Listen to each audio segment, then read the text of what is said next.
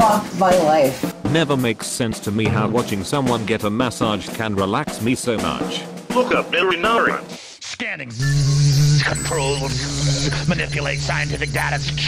Take over. Blast. Control. World government. Shut down infrastructure. Ship everything to China.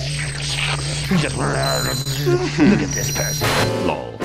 I like how all the massages are Dimitri's favorite. My boy DMITRI enjoying it view. Buenas spaghetti strap style of feed the Bohemian. Damn Dmitri. Serotonin real kick. I bet you got some neck too. My boy Big D is so selfish, but I ain't mad.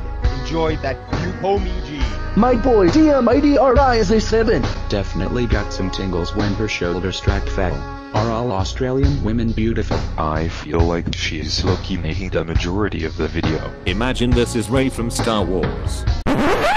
Are most of his subscribers 15 year old boys? That apparently can't stop themselves from commenting about the fact she is getting a neck massage and there's some skin to be shown.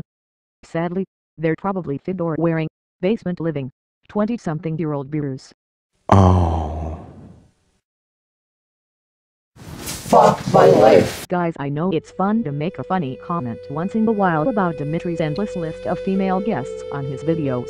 But you've got to remember to contain yourselves sometime. Imagine what a new guy would think when scrolling down to the comments section. Try and keep the jokes as formal as possible. Once you hit the other side, it will really hurt Dimitri's channel. Believe me, I myself have made plenty of comments on this topic on in the comments just so I know how tempting it is to go overboard.